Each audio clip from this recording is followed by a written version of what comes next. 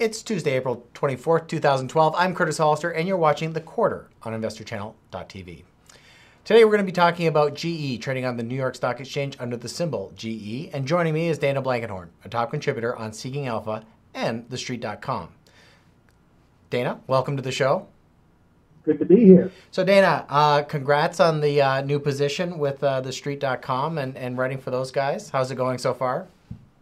It's going like clockwork. well, that that's good, I guess. Um, so we're going to talk about GE today, and uh, they just come out with earnings that beat beat analyst estimates by a penny, and I think they come in around 34 cents um, per share. Is that right? That's right. So, I mean, they used to say what's good for GE is good for America. Is that still the case? Well, uh, the original one was What's Good for General Motors. It was by Charlie Wilson, who at that time was the GM chairman. This is in the 1950s. But uh, GE is actually uh, the only company that was on the Dow 30 when it launched. It's still on the Dow 30. Mm. That's how old it was. I mean, the, this company was Thomas Edison's exit strategy. Okay? The company was formed in order to basically get him out of day to day operations of electrical stuff. Mm-hmm. And so we could, you know, do things like photographs and movie projectors and things like that. Anyway, um, uh, the point is they have survived this long by giving each chairman, each generation, uh, all the time that, that, that, they could that they needed to make the company what they wanted it to be.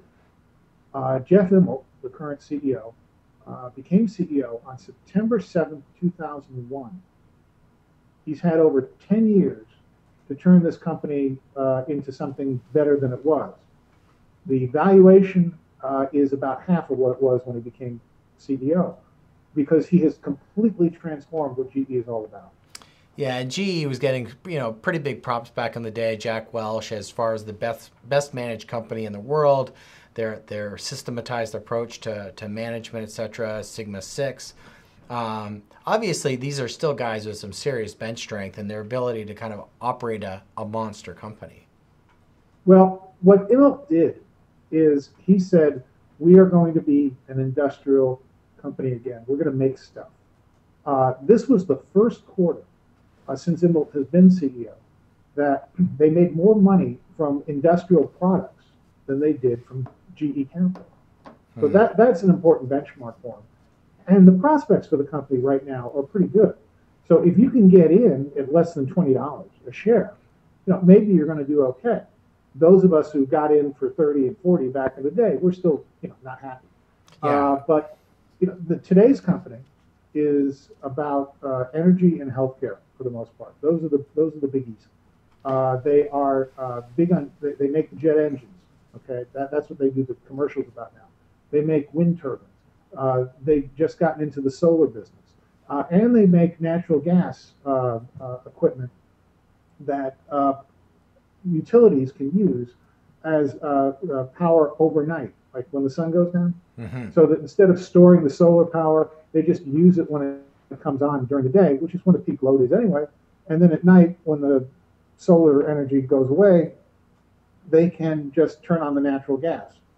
Gotcha. So they, they're doing a lot of exciting and interesting things. They've plus some, plus some battery tech, obviously, as well, that they're um, around uh, electric cars.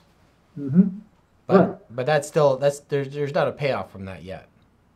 Exactly, and that's and that's part of the problem. For instance, uh, last year, uh, Immelt decided to invest heavily in building a solar panel plant in Colorado.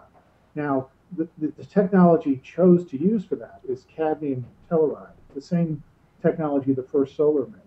Well, what's happened is that the cost of polysilicon, which is what we usually think of when we think of solar panels, the cost of the raw material has plunged. And with so many big Chinese companies involved, they've been oversupplying the market. Prices have plunged, they've mm-hmm. plummeted. They plummeted, frankly, below his cost of production. So, I mean, although the they've had a drop in uh, in um, gross income, um, obviously associated with kind of some divestitures as well as um, as well as just the economy in general. Their earnings per share is, is is maintained or gotten better than it has been historically. You know what's what's that because of? Is just just strong management, or are these guys going to be able to kind of continue to navigate through a, a completely down economy globally?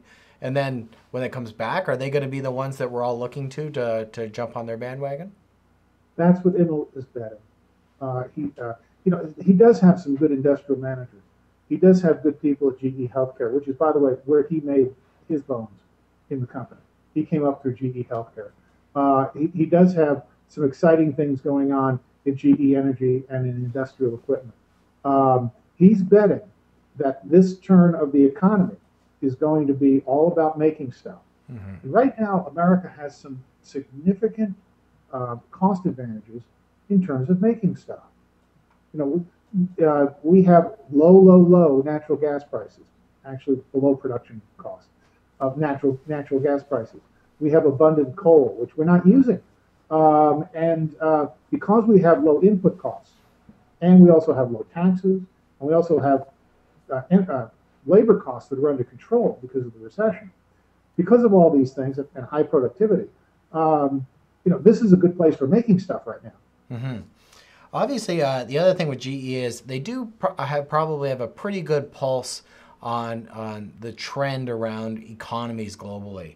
One of the things Immelt said within his, uh, his his latest quarterly results call was they're going to be watching Europe very carefully, and there has been quite a bit of divestiture of their um, capital division and real estate holdings out of Europe. I mean, is Europe is Europe kind of a sunk market because GE says it is? No, Europe is a sub market because Europe is going through the same crisis that we went through in 2008.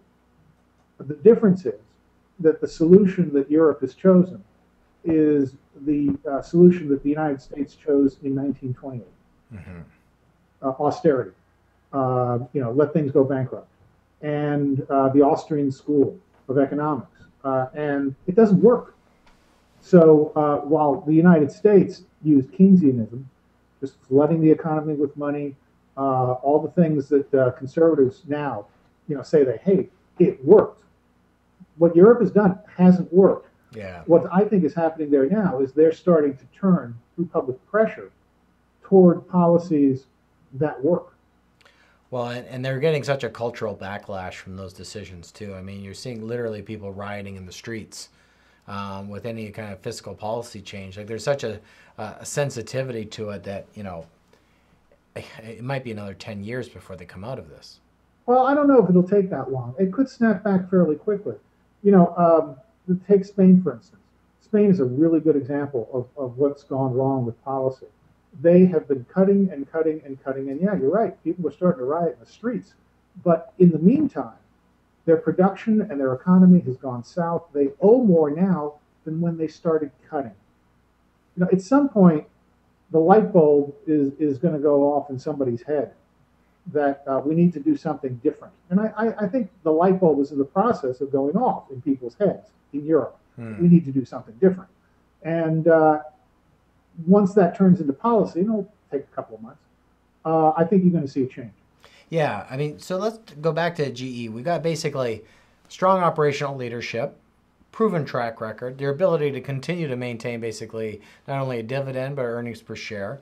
Um, bets on on industrial sector where they're going to be kind of the you know the pivot point globally for kind of major industrial uh, manufacturing. Um, pretty serious economic investment on large scale projects. So as they come back into the market, um, you know these big train systems, uh, people ordering more planes, et cetera, et cetera. They're going to be at the center of that and them limiting their, their European risk. Seems like a pretty good set of uh, conditions um, for possibly entering the stock. Yes. Plus, don't forget, at current prices, you're looking at a yield that beats any government bond. Just just raw yield. Forget about whether the stock goes up. I mean, mm-hmm. we usually talk about whether the stock goes up or down. You know, yield, the, the, the, the dividend against the price, is a very important consideration to a lot of investors. GE is a good yielding stock. And it's a highly liquid stock, obviously, as well. I mean, it's trading anywhere from 20 to 40 million shares a day. So it's trading massive shares. It's very liquid. I think this really comes down to these guys are tied to the global economy for to a certain extent, and they've got such a good management team that once that takes off, there everyone's going to be writing the articles in Fast Company and, and Business Magazine X and Y about why these guys were so smart the whole time. Never mind yes, the fact. you heard it here first. Yeah, yeah. Never mind the fact that they lost, you know, two hundred billion dollars basically in, in market cap. That this this is all this is what investing's all about. Yeah, market cap can come back. Absolutely. Anything else you want to add to this story, uh, Dana? Well, I own I own 200 shares. Continue to load up. Continue to load up. Well, Dana, Okay. Thanks so much for your time. Um, and uh, if, if anyone has any uh, questions, they can reach you on your blog that's on Seeking Alpha, or they can highlight some of your articles on thestreet.com. That's right. Okay, thanks a lot. If you'd like more information on Dana Blankenhorn, you can check him out on Seeking Alpha. If you'd like more videos from public issuers or industry experts, you can visit investorchannel.tv. I'm Curtis Hollister. Thanks so much for watching the quarter.